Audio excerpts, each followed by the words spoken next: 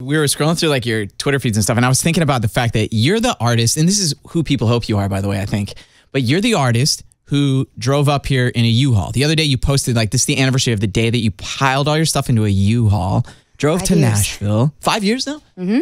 Drove to Nashville and then like kind of tried and, and saw what happened. And then we all heard the story at the CMA Awards of how the year before you've been watching from across the street at a honky tonk. And then now you're at the stage of your career where you're like, well, I'm last year I was at the Grammys winning a Grammy, and this year I'm at, you know what I mean? Like, that's cool. But are, do you still feel like you're in touch with the scared part of life, the starving artist?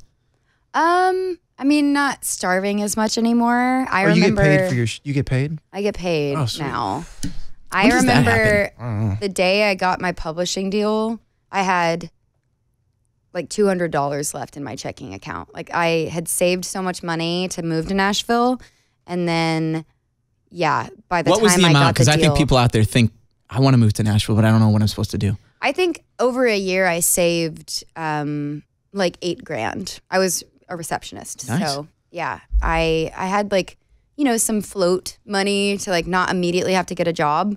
So, but I was so diligent and so frugal. I would go to Kroger and buy like those 89 cent like shepherd's pies. Oh my god, Yeah, like they're good, I actually. was Those little, yeah. shep- those little shepherds are tasty. you tasty. could you could get like eight of them for the week, and I I, I lived off that and like ramen. I mean, it was kind of And you found a roommate. artist. Is this true? You found your roommate on Craigslist? yeah, as a mother, as I was looking at that post and thinking of you know being your mother, I'd be like, how do you trust a Craigslist roommate? yeah. It was uh, she was very scared, but you know she moved up there, like not moved up there with me, but helped me move, and so she got to meet them, and you know they were they were great like roommates. Maren was a Craigslist roommate at that point too. Like the other side, they're probably like, "Who's I know this weirdo from Texas. Um, no, I'm a very good roommate. I'm very clean, pick up after myself, get groceries. Um, and now I have a, a lifelong roommate with Ryan. So